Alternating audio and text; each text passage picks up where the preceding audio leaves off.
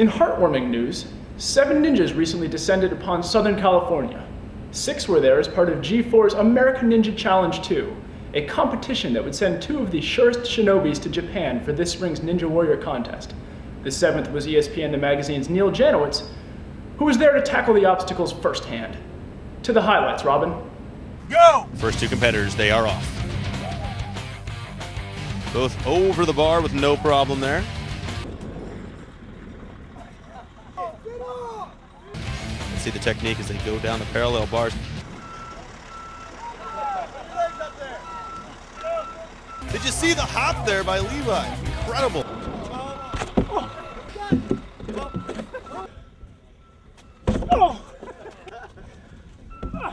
Let's go, Neil, hurry up! Clear that another hurdle from Perry. So now they got to go through those two bars right there.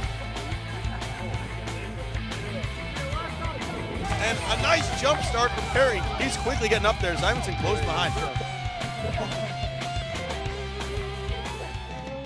Later that afternoon, the production moved to a nearby parking lot where the remaining three ninjas faced off against a giant plywood death trap called the Ninja Killer. Ninja Warrior Finals, and he's quickly up the wall here.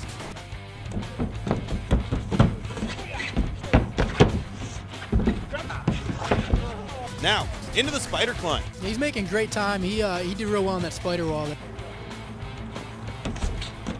In the end, it was Levi Meeuwenberg and Brian Orozco who triumphed, earning their tickets to Japan. Meanwhile, Janowitz, who wasn't even officially a competitor, still managed to get disqualified. This is Neil Janowitz.